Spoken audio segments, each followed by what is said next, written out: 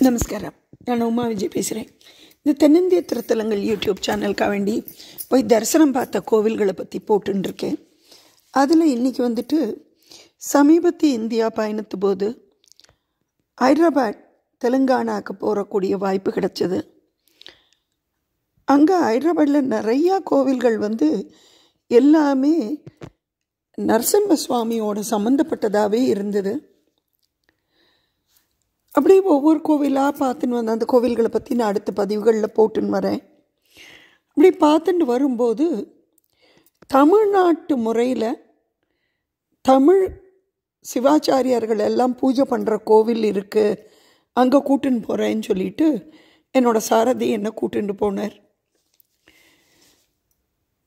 ஒரு பாஷை தெரியாத ஊரில் பாஷை நம்ம பாஷை பேசாத ஊரில் நம்மளோட தமிழை கேட்கும்போது நிஜமாகவே தேன் வந்து பாயுது காதினிலே. அந்த மாதிரியான ஒரு உணர்வு தான் இருந்தது.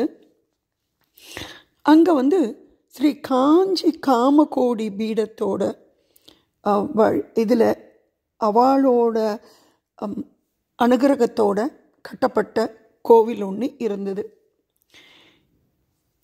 இது எந்த இடத்துல இருக்குன்னாக்க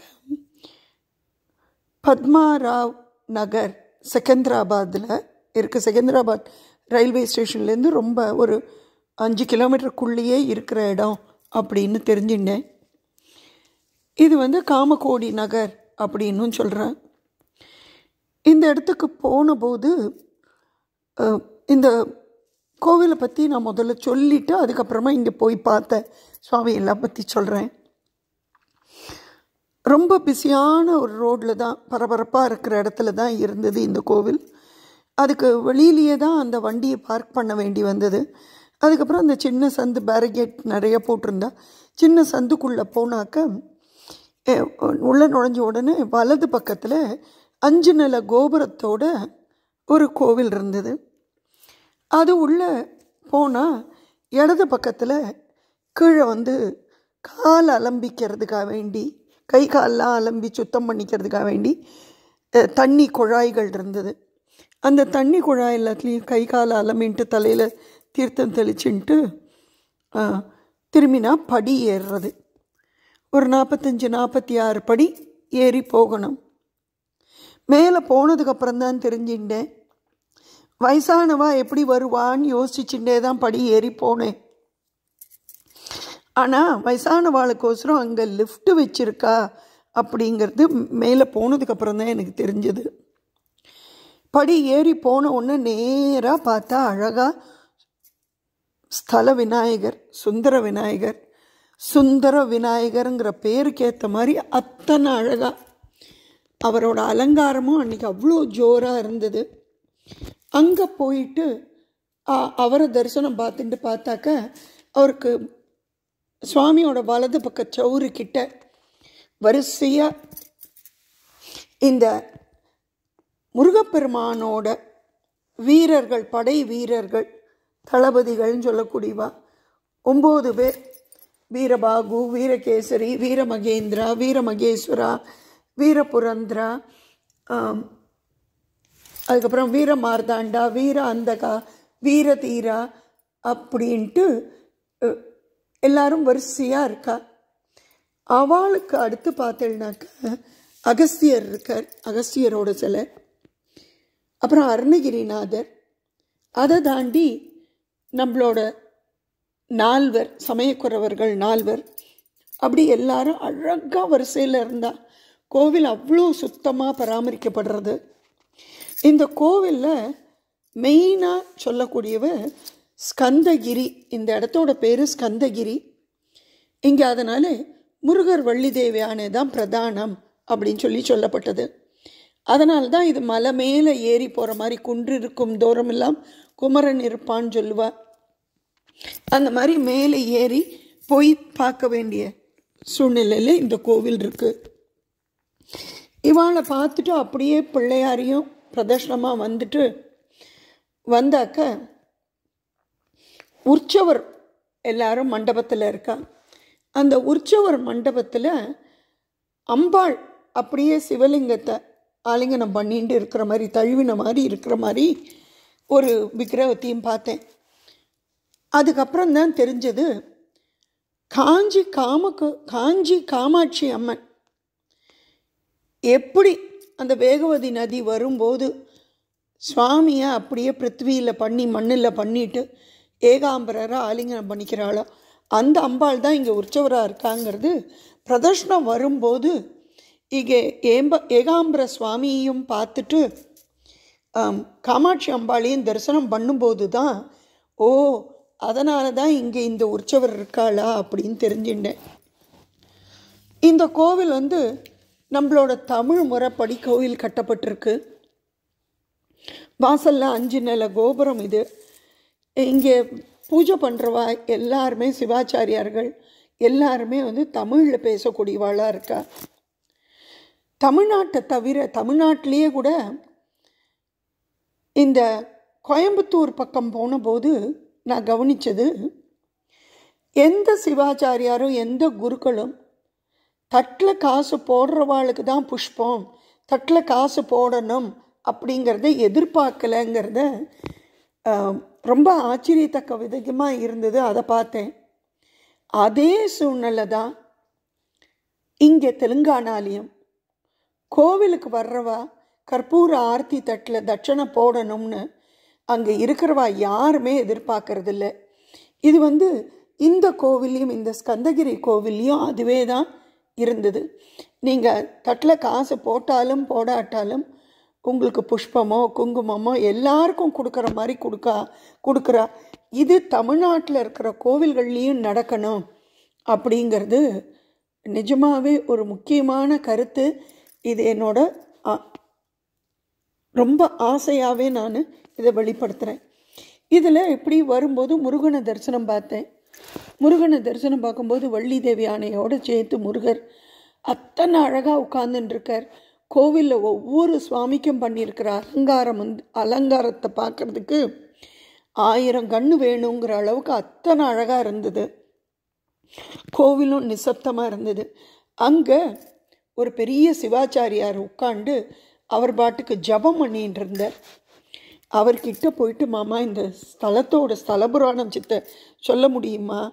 அப்படின்னு சொல்லி கேட்டேன். அப்போ அவர் சொன்னார் ஆயிரத்தி தொள்ளாயிரத்தி அறுபதுகளில் அதாவது கிட்டத்தட்ட அறுபது வருஷம் முன்னாடி இந்த ஹைதராபாத் அப்போல்லாம் ஆந்திரான்ட்டு இருந்தது. அதுக்கப்புறம் தான் தெலுங்கானான்னு இப்போ சமீபத்தில் பிரிஞ்சது. அப்போ இந்த ஆந்திர மாநிலத்தில் குடியேறின தமிழர்கள் எல்லாரும் சேர்ந்துண்டு முருக பக்தர்களாக இருந்தவா எல்லாரும் சேர்ந்துண்டு ஆடி கிருத்திகைக்கு ஒரு ஷெட் எடுத்துட்டு அதில் பூஜைகள் எல்லாம் பண்ணிட்டு இருந்திருக்கா. அவன் அத்தனை பேருக்கும் கோவில் கட்டலாம் அப்படின்னு ஒரு நினப்பு இருந்திருக்கு. அந்த நேரத்தில் மகாபிரிவா இருந்திருக்கார். ஸ்ரீ ஜெயேந்திர ச சந்திரசேகர சரஸ்வதி சுவாமிகள் அவர்கிட்ட போயிட்டு கேட்டிருக்கா இந்த மாதிரி நாங்கள் இந்த மாதிரி இடத்துல பூஜை பண்ணணும் அப்படின்னு. அப்போது அவர் வந்து முதல்ல பிள்ளையாரை பண்ண சொல்லியிருக்கார். இந்த பிள்ளையாரை வந்து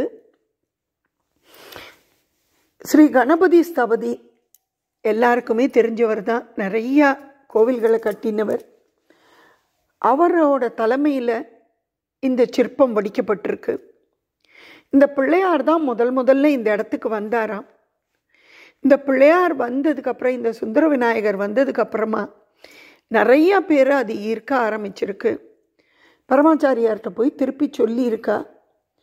அப்போது சந்திரசேகர ஜெயேந்திர சரஸ்வதி சுவாமிகள் வந்து சந்திரசேகர சரஸ்வதி சுவாமிகள் வந்துட்டு சரி இந்த பக்கம் ஊருக்கு வந்தபோது இந்த இடத்த பார்த்துட்டு இந்த இடத்துல கோவில் கட்டலாம் அப்படின்னு சொல்லி சொல்லியிருக்கா. பெரிவாளோட அனுகிரகம் கிடச்சதுனால இந்த பகுதியில் ஒரு இடத்த வாங்கியிருக்கா. ஆயிரத்தி தொள்ளாயிரத்தி அறுபத்தி மூணில் இந்த இடத்துக்கு பூமி பூஜை போட்டு பணம் வசூல் பண்ண ஆரம்பித்தாலாம் அதில் வந்துட்டு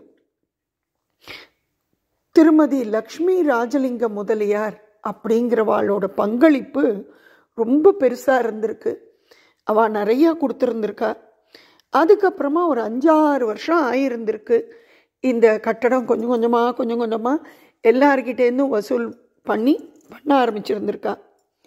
இந்த கோவிலில் இந்த பிள்ளையார் பண்ணுறதுக்கு முன்னாடி இந்த சிற்பி பிள்ளையாரை பண்ண ஆரம்பிக்கும் போது உப்பு போடாமல் சாப்பிட்ணும் சாப்பிடாம உப்பு போட்டு சாப்பிடாம விரதம் இருந்தாக்க பிள்ளையாரோட வேலை சீக்கிரம் நடக்கும்னு சொல்லிட்டு அத்தனை அன்பர்களும் ஆன்மீக பெருமக்களும் உப்பு போடாமல் சாப்பிட்டு இருந்து இந்த பிள்ளையார் சிலை வடிவமைச்சு முடிக்கிற வரைக்கும் அப்படி பத்தியமாக இருந்திருக்கா அப்படிங்கிறதும் கூடுதல் தகவலாக ஒரு புஸ்தகத்துலேருந்து வாசித்தேன் அதுக்கப்புறமா ஆயிரத்தி தொள்ளாயிரத்தி அறுபத்தி எட்டில் இந்த கோவில் கும்பாபிஷேகம் நடந்திருக்கு. பரமாச்சாரியாளரோட அனுகிரகத்தோட நடந்திருக்கு. அதுக்கப்புறமா இங்கே முருகர் வள்ளி தேவயானியோட வச்சிருந்திருக்கா அப்புறம் இந்த கோவிலில் வேறு யாரெல்லாம் இருக்கான்னு பார்த்தாக்க இங்கே வந்து ஸ்ரீதேவி பூதேவி சமேத வரதராஜ பெருமாள் இருக்கார்.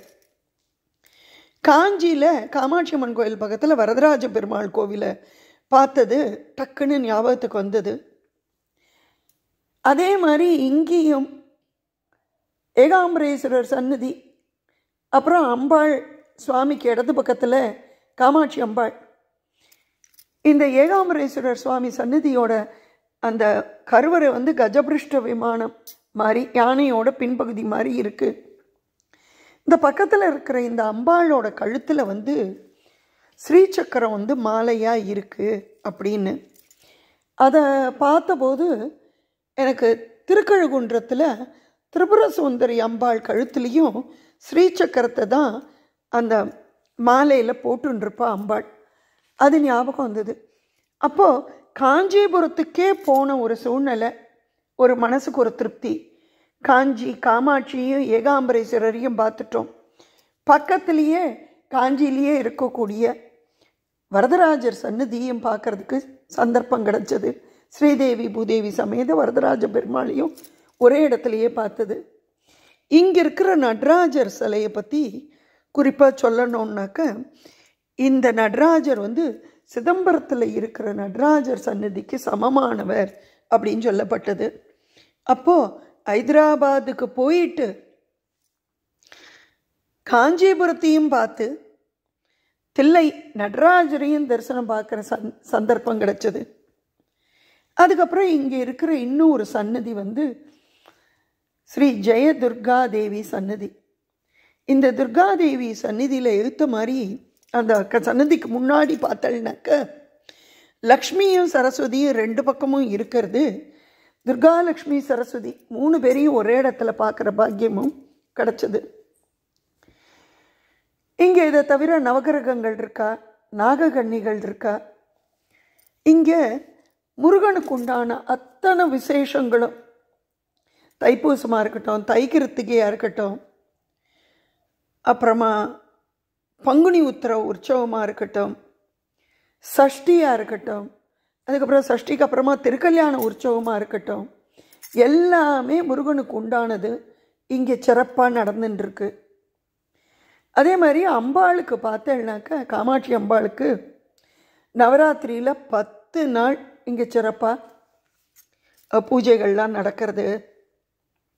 இங்கே வந்து தைப்பூசத்துக்கு நிறைய பேர் வந்து பால் குடம் எடுத்துட்டு வந்து சுவாமிக்கு அபிஷேகம் பண்ணுறா அப்படிங்கிறதும் தெரிஞ்சுட்டேன் இங்கே இருக்கிற இந்த ஜெயதுர்கா தேவிக்கு வந்து வெள்ளிக்கிழமை செவ்வாய்க்கிழமை ராகு காலத்தில் எல்லாரும் வந்து விளக்கேத்தி ராகுகால பூஜையை ரொம்ப சிறப்பாக பண்ணின்னு இருக்கா இங்கே இருக்கிற ஏகாம்பரேஸ்வரருக்கு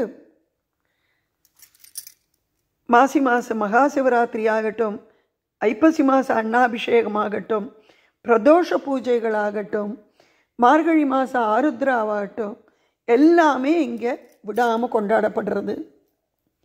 அதேமாரி ஸ்ரீதேவி பூதேவி சமேத வரதராஜ பெருமாளுக்கும் இங்கே வைகுண்ட ஏகாதசியும் ரொம்ப சிறப்பாக செஞ்சுன்னு இருக்கா